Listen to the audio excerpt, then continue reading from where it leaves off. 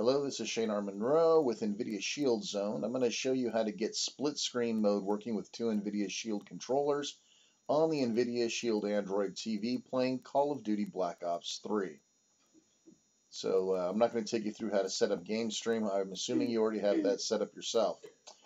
So the first thing to do is launch Black Ops 3. As soon as you get the title screen, hold down the uh, the uh, play button on the controller and uh, make sure you're selecting multiple controllers. Make sure both your controllers are already paired up before you do this.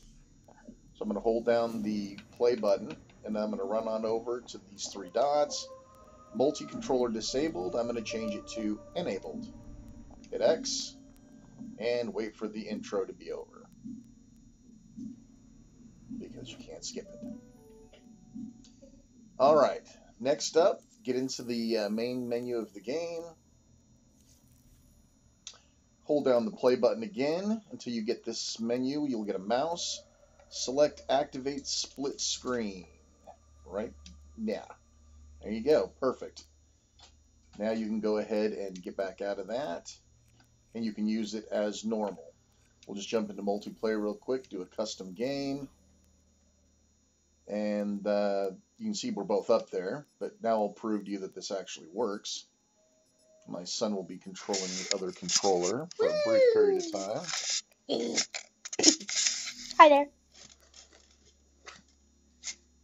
I'm Brian. I'm nine. I'm not gonna be shooting. Just moving around. you can see split screen is working great. No, Just hit A, Brian. Hey. There you go. Bye. And we'll just run around here for a minute so you can see we're not both doing the same controller. Or... Okay, my dad is moving right now on the top. I'm not moving. Now I'm moving. As you can see, um, well, yeah, this works. We're not moving at the same time, and we're not controlling each person, both the people with one controller. This is two people, right, Dad? Right, split screen play, just like we were hoping for. Okay, so that's, that's yep, that's how you do split uh, screen. Enjoy. Remember, visit NVIDIAShieldZone.com for all your Shield device needs. Next video will be in a while. I don't know what it's gonna be about.